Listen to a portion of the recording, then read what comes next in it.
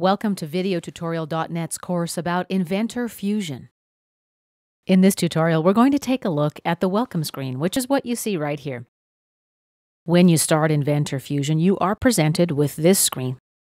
In the Work section on the left, you can create a new blank document, you can open an existing file, or open a sample file. In the Center section, under Recent Files, you'll see a list of the files that you've worked with recently.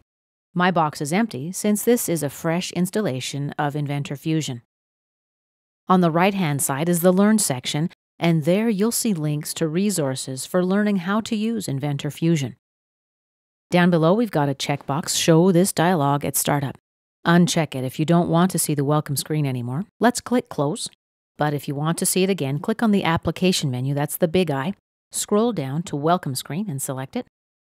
And here's the welcome screen again. This concludes our tutorial about Inventor Fusion's welcome screen. Next, we'll take a look at the interface.